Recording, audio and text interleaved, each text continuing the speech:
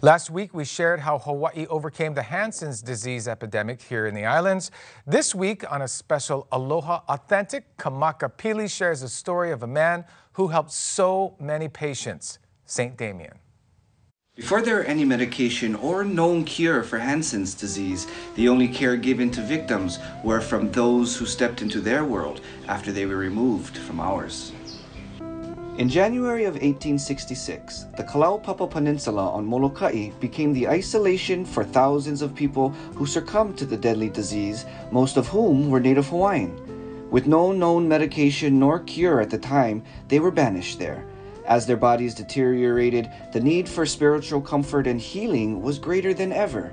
That's when Catholic priest Father Damien stepped in. Born Joseph de Veuster in 1840 in Belgium, he followed the religious footsteps of his siblings, being assigned to his brother's mission to Hawaii after he became ill. Arriving in Honolulu in 1864, he took the name Damien after being ordained at the Cathedral of Our Lady of Peace. He served on Hawaii Island for almost a decade before hearing the call for hundreds of priests to assist in Kalaupapa. He arrived in Kalawao village in 1873, eager to do the work of God for people who were on their way to a certain death.